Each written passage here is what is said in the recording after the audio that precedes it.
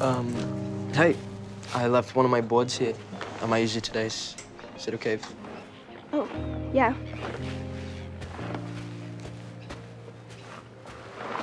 Wait, what was with that at the party? It's like you're into me or something. And what if I am into you or something? But you were with Bodhi. Bodhi was ages ago. And from what I've heard, she's definitely moved on. You know. It's really flattering, Mars, but this is the last year before I turn pro. And there was a lot of pressure on me to do well.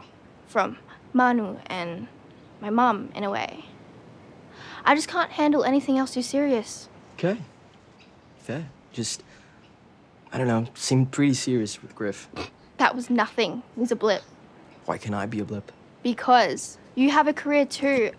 My big brother is your coach. It's just not a good idea. Poppy, do you like me or not?